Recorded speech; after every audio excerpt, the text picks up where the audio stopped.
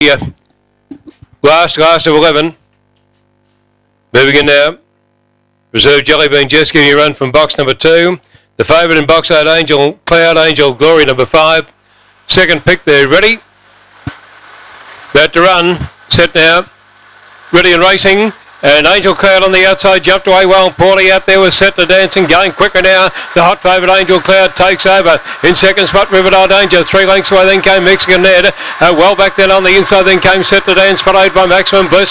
And then came Angel of Glory and Jelly Bean Jess up the straight. Out the centre, Angel Cloud is clear. And Angel Cloud, the last favourites, go to win and win by about three lengths. Second is Riverdale Danger. Third up, Mexican Ned on the outside. Followed then by Set to Dance, and then came uh, Maximum Bliss back near the tail in company with Angel of Glory. And the time for the race is around 22.81.